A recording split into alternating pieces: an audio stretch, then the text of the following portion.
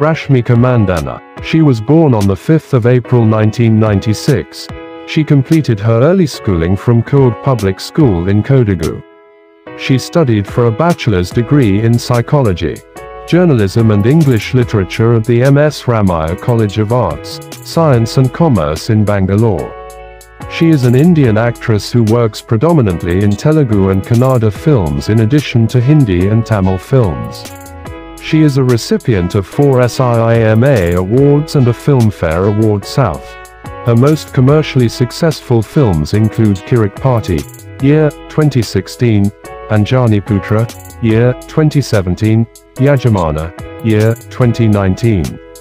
Sarileru Neekevvaru, year 2020, Bhishma, year 2020, Pogaru, year 2021, Pushpa the Rise, year 2021, Sita Ramam, year 2022, and Varisu, year 2023.